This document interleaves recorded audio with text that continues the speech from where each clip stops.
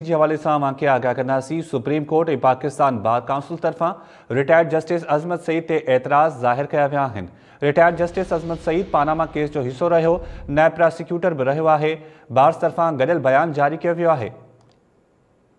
ॿिन्ही बार्स तरफ़ां चयो वियो आहे त retired justice Azmat Saeed Broadsheet जाँच कमेटी जो सरबराह न थींदो। इहा ख़बर माँ सां शेयर कयो पिया सुप्रीम कोर्ट पाकिस्तान बार तरफ़ां इलेक्शन कमीशन खां पड़ी फंडिंग केस जल्द उकलाइण जो बि मुतालबो कयो वियो